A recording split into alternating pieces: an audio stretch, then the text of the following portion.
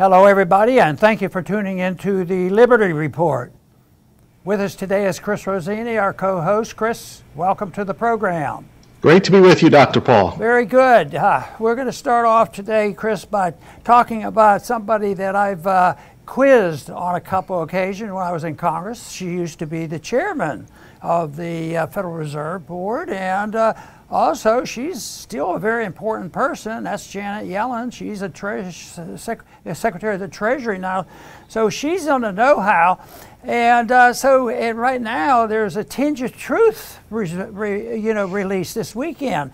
And I don't know what it means. I don't know whether that means that uh, Yellen telling the truth, there's a, uh, a change of heart, or she's been reading Austrian economics or, mm-hmm. or just what's going on, or somebody caught her in uh, an inconsistency. And that, of course, is somebody asked her this week, and asked uh, Chairman uh, Yellen, that, uh, you know, a year ago you said such and such, no big deal, you know, on inflation. Uh, it's, uh, it's one of these things that uh, it, we can handle, and it's, and it's, it's pretty mild, transitory. Well, she had a little confession. She said, Well, it didn't work out that way. And she says, I made a mistake. Well, that's, that's pretty amazing. But I think she was caught in the mistakes, but uh, she, uh, she came, came clean. But you don't usually get that uh, type of answer so, so clearly match on, even though we know that they don't know exactly what they're doing. In the, you know, uh, she said that she, she just didn't understand it, and she had uh, some reasons why, why she got mixed up. She didn't measure this statistic and that statistic but uh, it did make it did make uh, the the news. But you know, here here we have a person that's really up on it, and she's been a professor, written books, the expert. Hmm. And uh, somebody said, Ron, if you were there and she was coming before the committee and you were you had a chance to quiz her, uh, what would you ask her?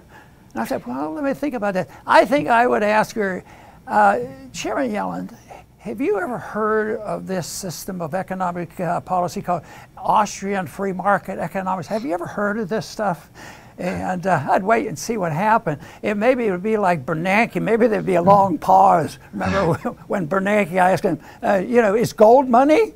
And it was, yeah, no. So might have gotten a result of that, but but I wasn't there and she wasn't there, but she's still in an important uh, important position. But I can see why people could get confused about the monetary system. You know, the Constitution still says the money should be backed by gold, and, and that's, that's important. That doesn't happen. But uh, the people in Washington have, uh, you know, neglected the Constitution on more than one time. So that, that's not a big deal. There's, there's uh, uh not, not, nothing different. But she, she uh, evidently, though, uh, is uh, acknowledged and she's respected and uh, she has these answers. And I think, well, if she's confused and has no idea that inflation was coming, uh, then uh, the country has a problem. Because the Austrian answer to this is, well, the, uh, the inflation was already there. It isn't, is it coming? No. This is why this is why it's so important to get the separation of monetary inflation and price inflation and just call it all price inflation because they don't want you to use monetary inflation because then you have to address the Federal Reserve uh, system. So she, she uh, you know, has participated in the confusion that goes on. Now, all I can say to our viewers today is I can understand, especially if you're new into understanding the monetary issue and what gold should be, be used for and whether it is a haven and what we should do about the monetary system. And uh, the one thing is, is uh, you know, I'm working with, is partnering in, in, with a company called Birch Gold. And uh, they, they have a lot of different ways you can invest in gold. And they have people that will answer questions because it isn't like the only thing you can do is walk into a shop and buy an ounce of gold, something like that. There's different ways to put it into retirement accounts, and there's uh, different ways of inter interpreting, you know, the period of time that we're in. Sometimes people are pretty smart and know the short term. But anyway, if you have any desire to talk uh, with somebody at Birch Gold, the number is on the screen there. You can give a call and, and they will help uh, help you make a decision because, uh, you know, when uh, the Bretton Woods broke down in 1971, gold wasn't even legal. I wasn't even technically allowed to have gold. And uh, but there were gold dealers because you could still see, sell precious coins and things like this. So we uh, we were able to get it. And of course, the amazing thing is when gold broke down in the 70s, it went from $35 an ounce to over $800 an ounce. So it was contained for all those years. 40 years we weren't allowed to own gold. Chris, you know, the one thing that this has encouraged, this corruption in our monetary system, is something that we refer to all the time, and that's corporatism. It causes the businessman to work in cahoots with the legislators as well as the Federal Reserve.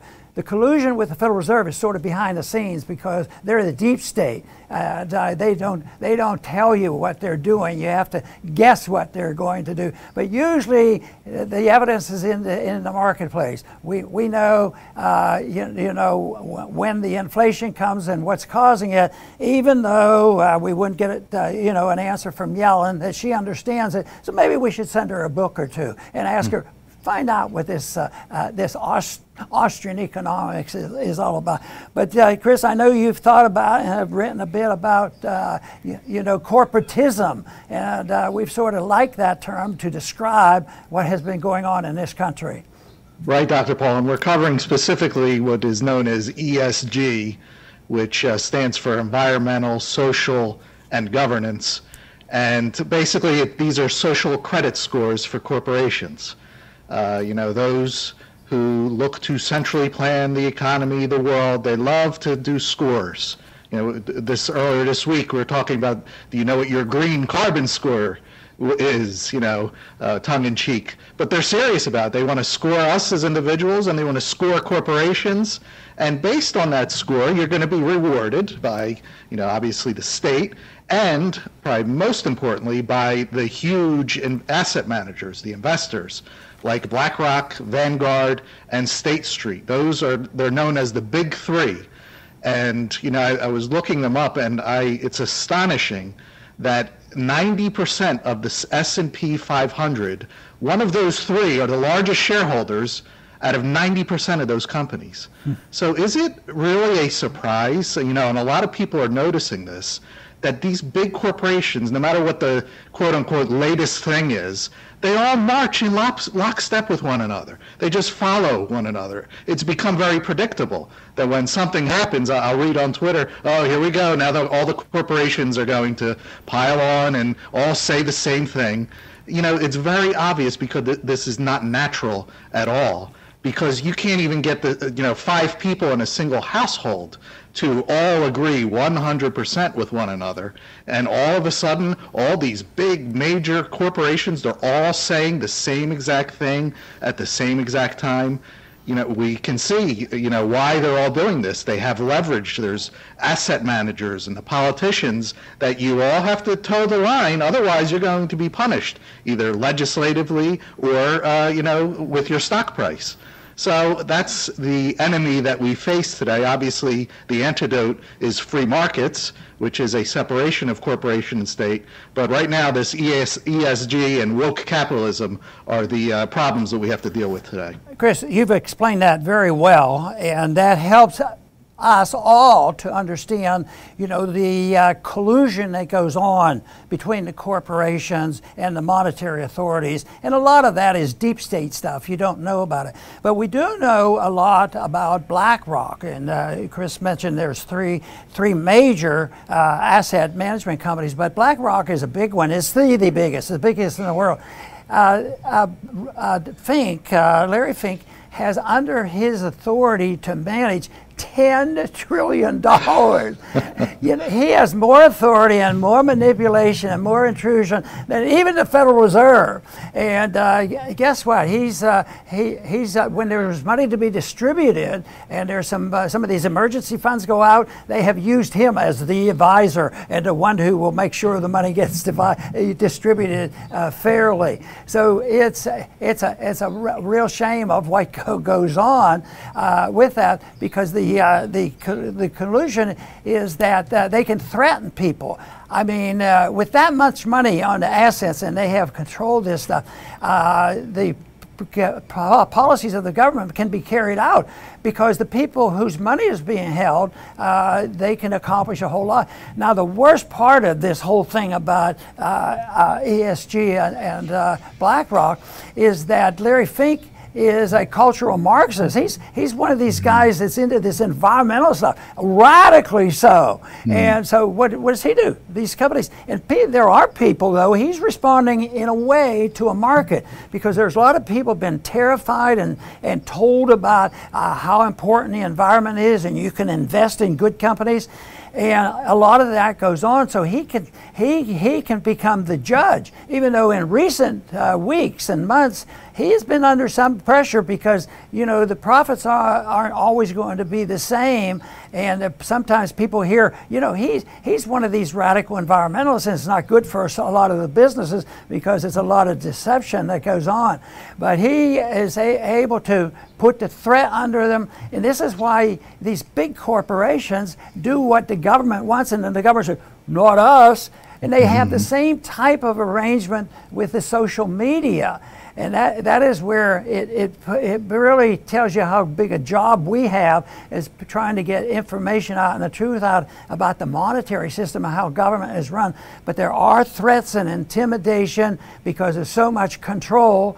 And, uh, and the people who like, uh, they, they like it. Some people say, this is a good idea and I want my money invested. And sometimes they'll complain he's not doing enough of this mischief that he, uh, he has signed up for. So this is a this is something that uh, you you know is a vehicle for how how they control things, and uh, I think that. Uh, and until people realize this, that this will it will continue. The situation is is like this. It's not a free market. It is uh, it is a deep state controlled market that uh, are able to control the investment fund. Can you imagine 10, $10 trillion. They have a say in how this money will be spent. And uh, the people go along, what about you throw in the part of it will be the military industrial complex. They'll be part of that too. And, and, and they, uh, the government not only can do their bidding, but they can de also deny uh, benefits if the corporations uh, don't go along with it. But this explains, all of a sudden they say, how did they get those corporations to, to uh, enforce all those dumb regulations that now it's turning out have been proven harmful uh, on, on uh, dealing with COVID? And the corporations did that, and, and of course, uh, many of the local politicians went along with it. And there's more and more articles now showing that you know most of this stuff was sort of sort of fiction, you know, and that uh, right now there's a statistic out to show India, that essentially didn't inoculate anybody, has had the low, uh, has the best percentage of people who are immune, you know, from from COVID, and it was all natural immunity. So this whole idea that uh, Bill Gates and and Fauci know exactly what we can do, and we can pressure them into doing it because of this financial situation. So that that uh, Chris is something that is uh, you know corporatism at its worst and uh, it will, will lead to more, more trouble. The one thing that I think economically one could think about is, you know, inflation, distortion of the money system, lower interest rates than normal, a lot of cash going out causes inflation of the prices and malinvestment, people making mistakes because they're getting the wrong information. But add on to this somebody managing the country, and he's a devoted, uh, you know, cl- uh, uh, cl- climate believer. And uh, so you mix that in because that isn't based on the proper functioning. You know, somebody said, well, you don't care about the environment at all. But th- that, that isn't the case. There's lots of ways you can take care of the environment without selling your soul and turning uh, management and intimidating and threaten people. If you don't do it our way, we're going to punish you or you will not get the next loan or whatever that happen. So, Chris, uh, unfortunately, we have a task. We want to keep our uh, keep after understanding exactly what uh, you know corporatism is. Chris. Yes, and people need to keep their eye on the ball. We got a great taste of what this system is during COVID. Notice it was the big corporations that uh, did quite well during COVID, and it was the small businesses that had to close and they were locked down and this. Don't go to this shop, go to Walmart where there's lots of people. There you can do your shopping. So, but there's a reason for this. Uh, if you get rid of small businesses, all you're left with are the big corporations. And, you know, they're all going to be toeing the, the same line. So you can see the thinking here of why, even with regulations, regulations throw small businessmen out too, because they favor the big corporations. So this is, it's nasty, uh, but, you know, so you always have to, you know, uh, push for small business. They're our savior. You need an out somewhere out of this beast system that they're creating. Um, but one thing we also have to have to stress is uh, this is not communism. There are still a lot of people that I read, they're communists, communists, communists. Communism is a deadly ideology, the deadliest, but this is not who we are facing against today. Uh, even uh, when you say, oh no, the communist China, communist China, one of the biggest uh, investors in China is BlackRock. Com- uh, they have the same problem that we have here. It's a merger of the corporations and the state, the big corporations and the state, you know, uh, against, I guess you would say, the people. And uh, that's the power arrangement. It's not communism where the state is the only owner of all the means of production. Um, it's it's a there is private, at least in name only, and the state. So that's what we are up against, and we have to keep that in mind. Communism is not the big enemy that we face today. Uh, very, very good, Chris. And you know, uh, right now people are talking more about a black swan event, meaning that there's going to be something pop up all of a sudden, like Lehman Brothers did, and then a lot of ramifications from that. So there, there will be a black swan. Uh, we don't know the day, but we're in a big enough mess. We don't even need a black swan. Uh, we have a gray swan out there constantly, uh, and it's it's been been very uh, disruptive. And the black uh, swan event, though, really causes things to uh, crash. But you know, right, and it may be something that the Federal Reserve will do, uh, thinking, well, they don't understand uh, wh- what's going on, but there will be a policy. Now, just two days ago, on June, June 1st, it was decided that once again the Fed was going to pursue this uh, issue of shrinking the balance sheet. They, they have nine nine trillion dollars on the balance sheet, you know, and they've accumulated, and it's a sign of that it was inflated. Now they want to get rid of it and sell it and put it back in the market. They tried it a couple years ago, and as predicted, it didn't work. After several months, uh, they had to quit. But also, COVID came along, and so they threw the towel in. But now they're ready again. They've conditioned the businessman, they've conditioned the banks, and we're going to raise the interest rates. We're going to raise it slowly, and we will tell, help people when they need it, but we're going to have a soft landing. Well, I just wonder whether that's ever happened. You can't, you, you, you can't gracefully get out of a, out of a mess that we have here now. But anyway, starting on June 1st, they started the withdrawal of uh, nine, uh, $9 trillion, 9.5, $95 billion. Every month they're taking out of, uh, to lower the balance sheet. Well, I'm going to make a prediction. It won't last a long time. I think the, the markets won't like it. They'll yell and scream, and uh, no matter how well organized they think they are, and, uh, and, and how much control they have, and they always brag that we can handle this, uh, we can handle this. But uh, if, if they don't even want to talk about uh, you, you, know the, the malinvestment because of low interest rates and they, they caused the whole thing, they're not going to solve the problem. It's the malinvestment and it, it will uh, it, they will have to be liquidated, and that's what we're in the process of doing. And they do it by debasing the currency. The debt will be paid. Everybody's going to get a check, but prices are going to go up because the money is going to become less valuable. And the thing that I fear the most is the anger that may develop or will develop, is developing between the classes in the United States because some people benefit a lot more than others. Right now, it's getting to the point where even people making $100,000, $200,000 aren't rolling in the dough because the cost of living, even for them, has gone up and there's a problem. So uh, this unwinding Uh, there's no way to know when it'll quit or when they'll throw in the towel, but there's no way that they're going to have a soft landing and we're going to gradually have a little, little temporary uh, inflation, let it go away, and we'll be back to normal. It doesn't happen that way. So the big thing is, is for people to know that uh, this is a tough situation. The best thing that we can do right now, from our viewpoint, is trying to get people to understand the necessity of having sound money. Chris? Very good, Dr. Paul. I'm going to try to end on a positive note because these are, uh, you know, scary things. The bad guys, they tell us what they want to do to us, which, uh, you know, but you have to always know in the back of your mind that uh, they cannot succeed, and they really can't succeed. Uh, they could do a lot of damage, but they can't get what they ultimately want.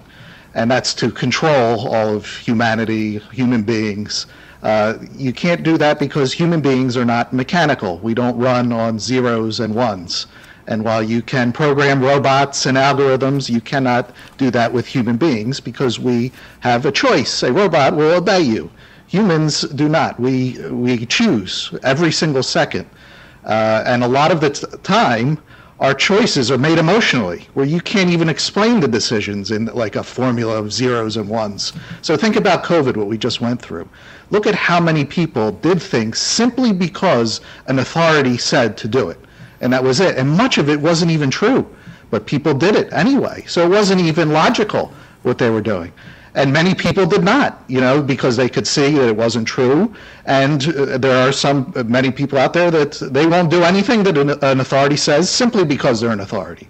And that's the thing that we have. We have that ability to choose. We're not like robots that obey. And they, these people that want to do all these things, these social credit scores, they want to create like a, a uh, population of robots that will obey. But it's not going to happen. Uh, you know, and it gets even worse than that. You know, there are people that uh, will tell you that 2 plus 2 equals 5 simply because some other group, some people that they like and they associate with, say that 2 plus 2 is 5. And they could know it in their head it's not, but I'm going to say it anyway. So you see how tricky humanity is? We cannot be put into an algorithm or a formula or a model that uh, everything is going to go, you know, when you see on TV this World Economic Forum, they speak as if what they want is inevitable. It is far from inevitable, but, you know, they have good PR, so that's why it works. In any case, we have the freedom to choose, and uh, we definitely advocate that on this show, and that is what is going to win in the end. Excellent, Chris. You know, I'm going to finish up by talking about uh, who who sh should be blamed and uh, who uh, who can explain what's going on. We'd we'd like to think that we're leaning in this position of explaining what's happening rather than saying, well, they're they're they're at fault. And that's the sort of what uh, Yellen was doing. They find people to blame because they have to avoid any directing our considerations and blaming the Federal Reserve. See, they don't want to touch that, so they have to find different people. Right now, it's uh, the most common thing for Republicans to blame Biden. And uh, Biden has a responsibility for a lot of problems. All the spending that he's done throughout his political career, and all the regulations that he has stuck on, doing what he has done to uh, uh, oil to push those prices up. But that, that kind of stuff is not the inflation. The inflation is still deficits turned into money by monetizing that debt by the Federal Reserve. You don't have an increase in the money supply without the Federal Reserve uh, doing that. And uh, so there's a lot of a lot of blame uh, to go along. And uh, there were two new ones here in the last couple of days that I thought was a little a little bit entertaining because one person said, "Well, it's it's credit cards." Uh, because people have credit cards, uh, that's why the prices go up.